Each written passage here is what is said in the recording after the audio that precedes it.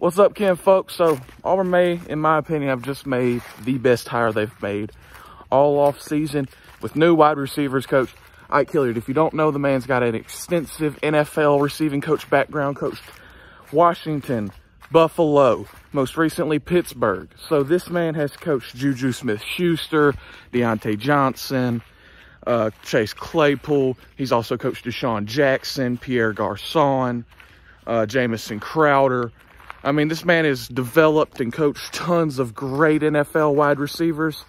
I don't think he has any college football background, but the man played in the NFL. You know, this is an elite hire in my opinion, especially this late. All right, so